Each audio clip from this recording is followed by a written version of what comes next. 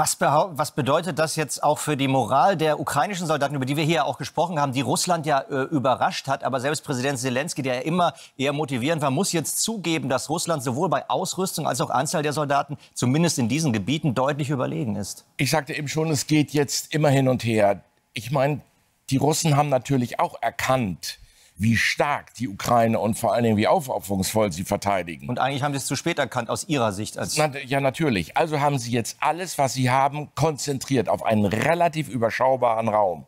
Und das führt dazu, dass sie örtlich natürlich eine deutliche Überlegenheit erzielt haben. Und das bedeutet für die Ukraine in der Tat, das sind jetzt wirklich heftige Kämpfe, die sie dort zu überstehen haben. Und ich befürchte mal, die Verluste auf beiden Seiten sind gewaltig. Das muss man so sehen.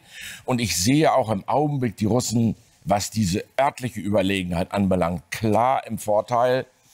Ähm, die Frage ist, welches Durchhaltevermögen, und das würde ich so sehen, was brauchen die ukrainischen Streitkräfte jetzt? Sie brauchen Durchhaltevermögen, denn ich gehe davon aus, irgendwann wird sich das Blatt auch wieder wenden. Und dann muss man schauen, wie man die ukrainischen Streitkräfte ausrüstet, welche Taktik sie anwenden, um dann vielleicht wieder einmal örtlich in der Lage zu sein, zu Gegenangriffen, zu Gegenstößen. Aber das ist schwierig. Da sind wir ja dann indirekt oder direkt auch schon beim Thema Waffenlieferungen. Nur selbst wenn jetzt Waffen auch aus Deutschland noch zusätzlich geliefert werden, wann sind die denn einsatzfähig militärisch? Das dauert doch Wochen, oder? Das ist exakt. Zu spät das, für dieses Gebiet. Das ist exakt das Problem. Und das ist dem Laien oftmals noch nicht klar es reicht eben nicht, wenn man schwere Waffen in Form von Panzern, Schützenpanzern, Haubitzen, Pioniergerät, Flak, also Flugabwehrwaffen mhm. aufs Gefechtsfeld steht.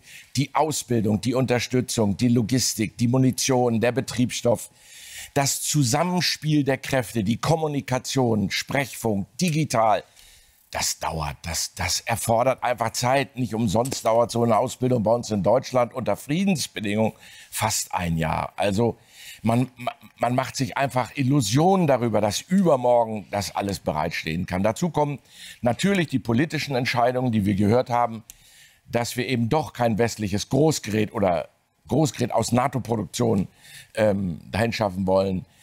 Ich höre und lese jetzt, die Amerikaner haben Haubitzen geliefert, die berühmte M577, eine hervorragende Haubitze, aber eben auch eine Feldhaubitze. Sie wird gezogen wie ein Anhänger hinterm LKW. Das dauert alles und ich glaube auch, man muss sich die Zeit nehmen, denn es geht hier um Krieg, es geht um Menschen. Und man kann nicht halbfertig ausgebildete und ausgerüstete Soldaten in einen so brutalen Krieg schicken.